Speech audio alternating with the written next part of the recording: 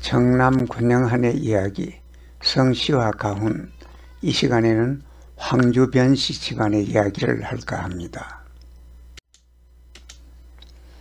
예, 황주변 씨의 본관은 황주인데 황주는 황해도 중부지방에 있는 지명입니다.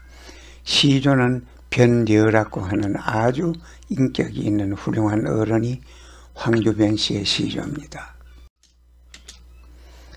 에, 황주변 씨는 중국 농서 사람인 변려가 북송이 망하자 바다를 건너서 동쪽으로 와가지고 황주에 정착하고 거기에 눌려 살았으므로 후손들이 그를 시조로 하고 본관을 황주로 하게 되었습니다.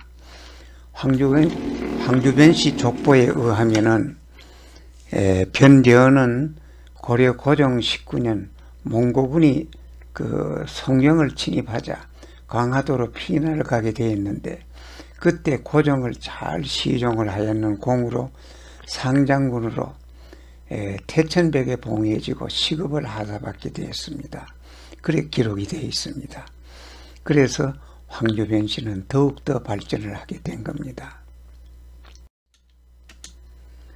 황주변 씨는 후손들이 많이 번창을 했는 때문에 여기 보는 것과 같이 이렇게 11개 파로 분파가 되었습니다.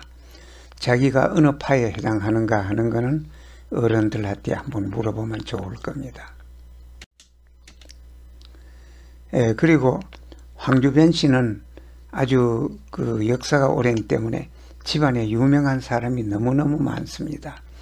이분 한 분한 분의 내력은 인터넷에 검색해도 나오고 청남 건영안이의 홈페이지에도 있습니다.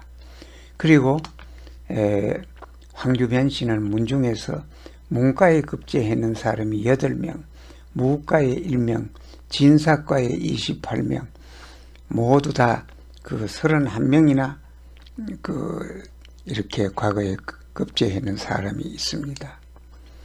에, 아주 자랑스러운 문중입니다. 에, 그러면 오늘은 변이준 여령이 남기는 말씀을 한마디 전합니다. 평각 세운다라.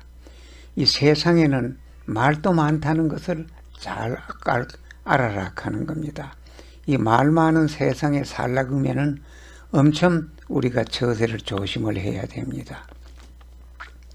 예, 그래서 여러에 남긴 말씀 세상에는 말도 많다는 것을 잘 알아라. 예, 이걸 예, 가슴에 새기기 바랍니다. 이 시간에는 황주변 씨 집안의 이야기를 하였습니다. 경청해 주셔서 감사합니다.